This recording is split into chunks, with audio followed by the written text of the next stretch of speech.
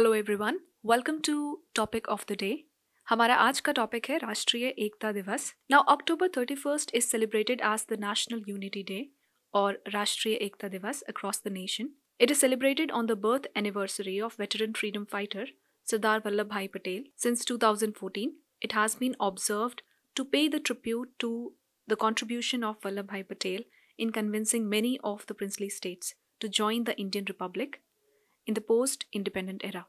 Sardar Vallabhbhai Patel was born in Nadiyad, Gujarat on 31st October 1875. He is popularly known as Lauh Purush or the Iron Man of India.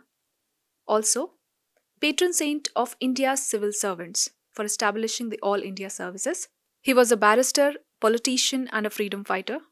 He, along with Rajendra Prasad, C. Rajgopalachari, and M. A. Ansari, came to be known as No Changers those who opposed the entry to the councils.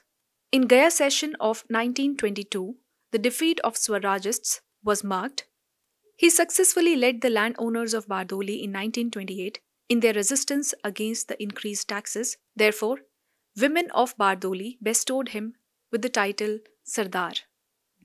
In 1930, he participated in the Salt Satyagraha and the civil disobedience movement. In 1931, he presided the Karachi session of Indian National Congress.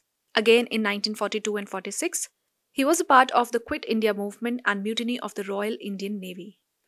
Now let us talk about some of his post-independence contributions. In 1947, he served as the Deputy Prime Minister, Home Minister and Minister of Information.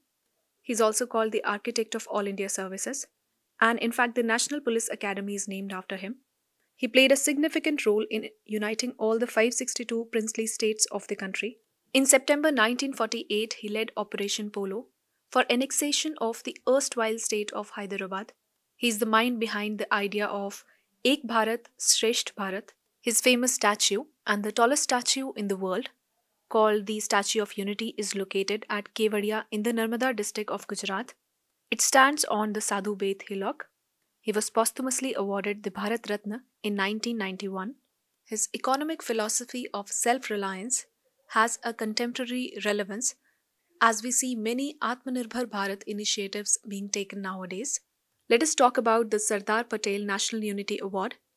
It is the highest civilian award in the field of unity and integrity of India, and no more than three awards will be given in a year.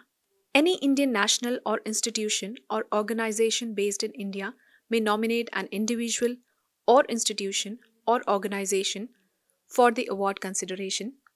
Now let us take up one question on the same topic. With reference to Sardar Vallabhbhai Patel, consider the following statements. First, he along with Rajendra Prasad were known as no changers. Second, he served as Minister of Information and Minister of State in the post independence era. Third, women of Bardoli bestowed him with the title Sardar. You have to choose the correct statements. You can write your answers in the comment section.